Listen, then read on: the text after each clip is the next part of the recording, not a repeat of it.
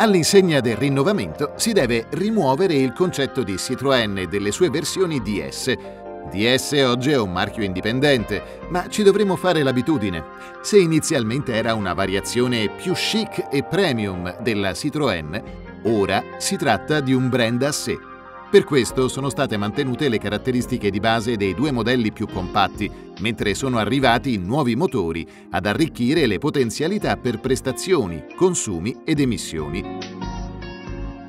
Il nuovo tre cilindri che muove la DS3 è un 1200 da 110 cavalli sovraalimentato, affiancato da un aspirato da 82 cavalli, già visto nelle vetture del gruppo francese. Con il nuovo 110 cavalli turbo, però, vero protagonista di questi cambiamenti, non solo la spinta è quella che ci si aspetta da un motore da oltre 100 cavalli montato su una vettura relativamente piccola, ma anche vibrazioni e ruvidità di funzionamento tipiche dei tre cilindri sono tanto ridotte da far dubitare che si tratti proprio di un tre cilindri.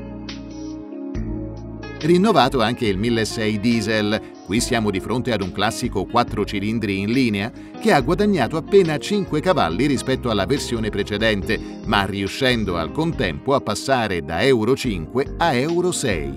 Per ottenere questo adeguamento alla normativa, gli ingegneri francesi sono intervenuti su oltre il 50% delle componenti per ridurre gli attriti e di conseguenza consumi ed emissioni inquinanti, Restando in tema, è interessante sottolineare come l'impianto di scarico comprenda un catalizzatore di ossidazione situato all'uscita del motore che elimina idrocarburi e monossido di carbonio della combustione. C'è poi un nuovo modulo catalizzatore SCR posizionato a monte del filtro antiparticolato che trasforma fino al 90% degli ossidi d'azoto in vapore acqueo e azoto grazie all'iniezione di AdBlue, miscela di acqua e urea.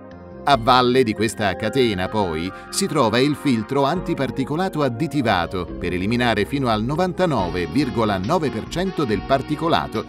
Nel dettaglio, il posizionamento del catalizzatore SCR a monte del filtro antiparticolato è l'unico sistema di post-trattamento in grado di ridurre contemporaneamente fino al 90% delle emissioni di NOx, riducendo fino al 4% le emissioni di CO2. Tecnicismi a parte, il nuovo turbo diesel spicca per prontezza di risposta a qualsiasi regime e nonostante la potenza non sia da primato, il mix ben calibrato con un assetto duro al punto giusto regala un grande piacere di guida.